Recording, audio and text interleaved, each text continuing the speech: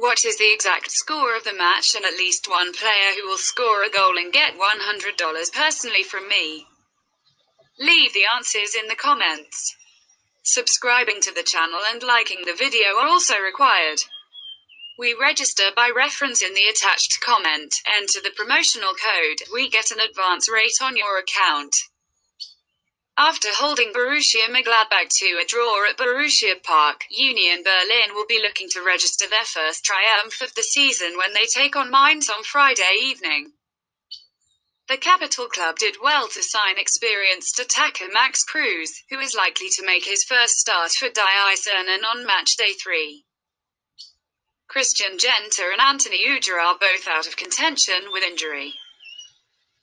Die on the other hand, aim to make amends for back-to-back defeats to Leipzig 1-3 and Stuttgart 1-4, but given their shaky defense, we do not believe that the visitors are capable of spoiling Union Berlin's party at Stadion an der Alten Försterei.